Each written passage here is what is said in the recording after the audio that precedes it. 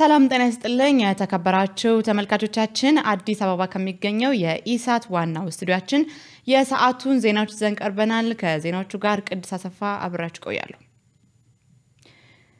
በቅድመና ድህረ ምርጫ ወቅት የሚያጋጥሙ ግጭቶችን ለማስቀረት ዜጎች የማይተካ ሚና እንዳላቸው መዘንጋት የለበትም ሲሉ ጠቅላይ ሚኒስትር ዶክተር አብይ አህመድ ገለጹ።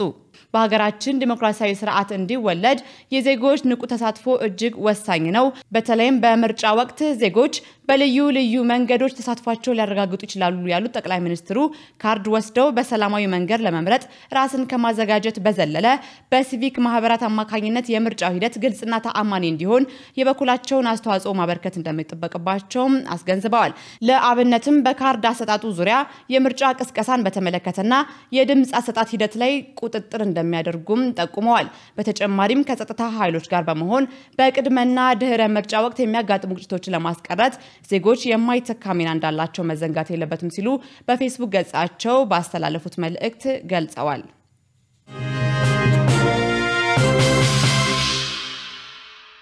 በኢትዮጵያ ለሁለት አዳዲስ የቴሌኮም ኦፕሬተሮች ፍቃድ ለመስጠት ለወጣው ጨረታ ስድስት ዓለም አቀፍ የቴሌኮም ድርጅቶች ሰነድ ማስገባታቸውን የኢትዮጵያ ኮሚኒኬሽን ባለስልጣን አስታወቀ። የኢትዮጵያ ኮሚኒኬሽን ባለስልጣን ዋና ዳይሬክተር ኢንጂነር ባልቻ ሬባ እንደገለጹት ባለስልጣኑ ባወጣው ጨረታ ለመሳተፍ ስድስት ዓለም አቀፍ ኩባንያዎች ጨረታ ሰነድ አስገብተዋል ብለዋል። በዚህም Global Partnership for Ethiopia በተባለ ተቋም ስም ሳፋሪኮም ከኬንያ ቮዳፎን ከብሪታንያ፣ ቮዳኮም ከደቡብ አፍሪካ፣ ሲዲሲ ግሩፕ ከብሪታንያ እና ሰሚቶሞ ኮርፖሬሽን ከጃፓን በጥምረት እንዲሁም ኤምቲኤን ከደቡብ አፍሪካ ሰነድ ያስገቡ ድርጅቶች መሆናቸውን አስታውቋል። ባለስልጣኑ የጨረታ ሰነዶቹ ላይ የሚያከናውነውን የቴክኒክና የፋይናንስ ግምገማዎች ካጠናቀቀ በኋላ ውጤቱ የሚገለጽ መሆኑንም ተናግረዋል። ባለስልጣኑ ከኢትዮ ቴሌኮም በተጨማሪ ለሁለት ኩባንያዎች የቴሌኮም አገልግሎት ፍቃድ ለመስጠት ባለፈው ዓመት ግንቦት ወር ላይ የፍላጎት መግለጫ መጠየቂያ አውጥቶ እንደነበርም ኢንጂነር ባልቻ አስታውሰዋል። ከዚህ ቀደም 12 የቴሌኮም ድርጅቶች በጨረታው ላይ ለመሳተፍ ፈቃደኝነታቸውን አሳይተው እንደነበር ገልጸው ከድርጅቶቹ መካከል የተቀመጠውን የቴክኒክና የፋይናንስ መስፈርት ያላሟሉ ድርጅቶች በመመዘኛ መውደቃቸውን ተናግረዋል። በዚህ መሰረት ፍላጎት ካሳዩ 12 ድርጅቶች መካከል ስድስቱ አስፈላጊውን መስፈርት ያሟሉ በመሆኑ ለጨረታው መቅረባቸውን ገልጸዋል።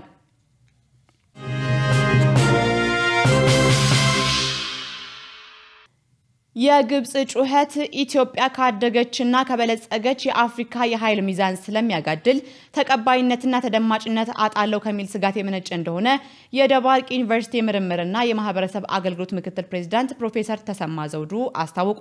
ፕሮፌሰር ተሰማ ዘውዱ በተለይም ለአዲስ ዘመን እንደገለጹት የግብጽ ጩኸት ኢትዮጵያ ካደገችና ከበለጸገች የአፍሪካ የኃይል ሚዛን ወደ ኢትዮጵያ ስለሚያጋድል ተቀባይነትና ተደማጭነትን አጣለው ከሚል ስጋት የሚመነጭ እንጂ ውሃ አጥታ አይደለም አይደለም ብለዋል። ግብጽ ለበርካታ ዓመታት የሚያገለግላት ውሃ በከርሰ ምድር አስቀምጣለች። በነፍስ ወከፍ ደረጃ ያላት የውሃ ክምችትም ከኢትዮጵያ በላይ ነው። ከፍተኛ የመብራት አገልግሎትም ተጠቃሚ መሆኗንም አመልክተዋል። የኃይል ሚዛኑን ለማስጠበቅ ኢትዮጵያውያን የውስጥ ችግራቸውን በመፍታት በጋራ ሊቆሙ እንደሚገባም ያመለከቱት ፕሮፌሰሩ የግድቡ መጠናቀቅ አሁን የምንጣላበትና የምንጋጭበት ችግር ሁሉ ሊቀርፍ ይችላል ብለዋል። የህዳሴው ግድብ በከፍተኛ የጥራት ደረጃ የሚሰራ ነው። ግድቡ ከተጠናቀቀ በኋላ ሌሎች ግድቦችን ለመስራት መዘጋጀት ያስፈልጋል ያሉት ፕሮፌሰሩ የውሃ ሀብታችንን በፍትሐዊነት የመጠቀም መብት እንዳለንም አስታውቀዋል። ከ85 በመቶ በላይ ውሃው ከኢትዮጵያ እየፈሰሰ የግብፅን የልብ ትርታ ተከትሎ የሚሰራ መሆን የለበትም። የአካባቢውን ተጠቃሚነት ከግምት ውስጥ አስገብቶ መገንባት የኢትዮጵያ መብት ነው። በዚህ ሁኔታ ውሃው የግብፅ ቢሆን ኖሮ አንድም ኩባያ ውሃ አያስቀዱንም ነበር ብለዋል።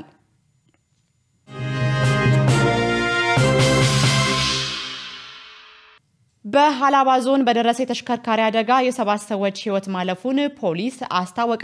በዞኑ ፖሊስ መምሪያ የትራፊክ ቁጥጥር ዋና የስራ ሂደት አስተባባሪ ዋና ሳጅን አብድራዛቅ በድሩ ለኢዜአ እንደገለጹት አደጋው የደረሰው ዛሬ ረፋድ ላይ በሀላባ ቁሊቶ ከተማ ገንደባ ቀበሌ በተለምዶ ሻሸመኔ መውጫ ተብሎ በሚጠራው አካባቢ ነው። ከሻሸመኔ ወደ ሀላባ ቁሊቶ ሲጓዝ የነበረ የሰሌዳ ቁጥር ኮድ 358357 ኦሮ የሆነ ዶልፊን ሚኒባስ ከዱራሜ ወደ ሻሸመኔ ይጓዝ ከነበረ ሰሌዳ ቁጥር ኮድ 3 12016 ደህ የህዝብ ማመላለሻ አውቶቡስ ጋር በመጋጨቱ አደጋው ሊደርስ እንደቻለ አስታውቀዋል። የአደጋው ምክንያት ከፍጥነት በላይ በማሽከርከር መሆኑን ጠቁመው የዝናብ ወቅት ከመሆኑ ጋር ተያይዞ አሽከርካሪዎች ተገቢውን ጥንቃቄ ማድረግ እንዳለባቸው አሳስበዋል።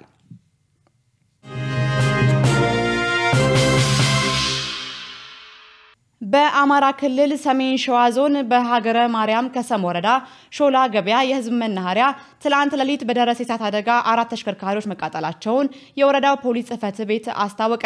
የጽህፈት ቤቱ ኃላፊ ኮማንደር ደምሰው ዳኜ እንደገለጹት አደጋው ሌሊት አምስት ሰዓት ተኩል አካባቢ በአንድ ሚኒባስ ተሽከርካሪ ላይ የተፈጠረ እሳት ወደ ሌሎቹ ተዛምቶ በንብረት ላይ ጉዳት አስከትሏል ብለዋል።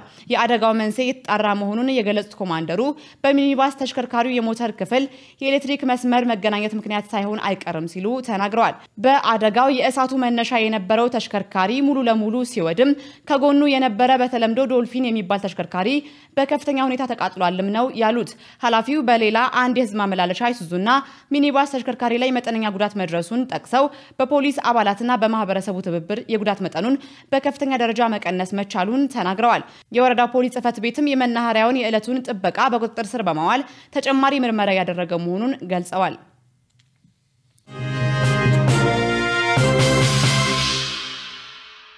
Yeah, which is enough. በህንድ ውስጥ ሆስፒታሎች በኮቪድ-19 ታማሚዎች በመሙላታቸው ምክንያት ሰዎች በቤት ውስጥ ሆነው ራሳቸውን ለማዳን ትግል ላይ መሆናቸው ተገለጸ። በህንድ ደልሂና ሌሎች ከተሞች ውስጥ የሚገኙ ሆስፒታሎች ብዙዎቹ ያላቸው አልጋ በህሙማን መያዛቸው ብቻ ሳይሆን የኮቪድ-19 ሕክምና መስጫ መሳሪያዎች ዋጋ እጅግ በመጨመሩ የከፋ ችግር አጋጥሟል። ለመተንፈስ የሚያግዙ መሳሪያዎች፣ የኦክስጅን ሲሊንደሮችና ሌሎች ተዛማጅ የህክምና ቁሳቁሶች ዋጋ ጣራ መንካቱም ተገልጿል። በሆስፒታሎች ሕክምና ማግኘት ያልቻሉ ሰዎች በቤት ውስጥ ህመምተኞች ህክምና የሚያገኙበትን መንገድ እንዲያገኙ ማስገደዱ ላይ የአስፈላጊ ህክምና መሳሪያዎች መጥፋት ችግሩን እንዳከፋውም ቢቢሲ ዘገባው አመልክቷል።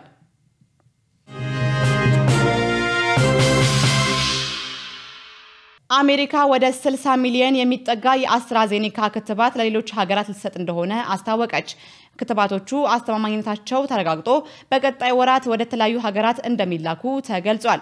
የአሜሪካ የምግብና መድኃኒት ቁጥጥር ባለስልጣን ገና ፍቃድ ያልተሰጣቸው በርካታ ክትባቶች አሜሪካ ውስጥ የተከማቹ ሲሆን የተለያዩ ሀገራት በቂ ክትባት ማግኘት ባይችሉም የአሜሪካ መንግስት ግን ከሚያስፈልገው በላይ ክትባት እያከማቸ ነው በሚል ሲተች ቆይቷል።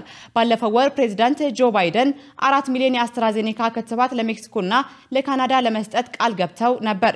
በህንድ የኮሮና ቫይረስ ስርጭት እጅግ አሳሳቢ መሆኑን ተከትሎ አሜሪካ ያከማቸችውን ክትባት እንድትለግስ ጫና እየተደረገባት እንደሚገኝም ተጠቁሟል። ከህንዱ ጠቅላይ ሚኒስትር ናሬንድራ ሞዲ ጋር በስልክ ውይይት ያደረጉት ፕሬዚዳንት ጆ ባይደን ኦክስጅን፣ የኮሮና ቫይረስ መመርመሪያ መሳሪያ፣ ክትባትና ሌሎችን ምርቶችን ለመስጠት ቃል መግባታቸው ተገልጿል። የአሜሪካ የምግብና መድኃኒት ቁጥጥር በቀጣይ ሳምንታት የክትባቶቹን ደህንነት ፈትሾ ፈቃድ ይሰጣል ተብሎ እንደሚጠበቅ የዋይት ሀውስ መግለጫ ይጠቁማል። ከዚያም ወደ 10 ሚሊዮን የሚጠጋ የአስትራዜኔካ ክትባት ወደ ተለያዩ ሀገራት ይላካል ነው የተባለው። ለሀገራት ይከፋፈላል የተባለው የቀረው 50 ሚሊዮን ክትባትም በተለያየ የምርት ደረጃ ላይ እንደሚገኝም ተጠቅሷል። የዋይት ሀውስ ቃል አቀባይ ጄን ሳኪ እንዳሉት የትኞቹ ሀገራት ክትባቱ እንደሚያገኙ በቀጣይ ይገለጻል ብለዋል። የአሜሪካ የምግብና መድኃኒት ተቆጣጣሪ እስካሁን ፍቃድ የሰጠው ለፋይዘር ባዮንቴክ፣ ለሞደርና እና ጆንሰን ኤንድ ጆንሰን መሆኑ ይታወቃል።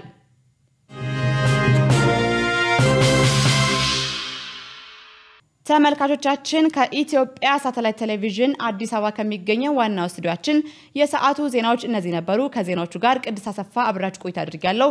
ሌሎች የኢሳት መሰናዶዎች ይቀጥላሉ። ከእነሱ ጋር መልካም ቆይታ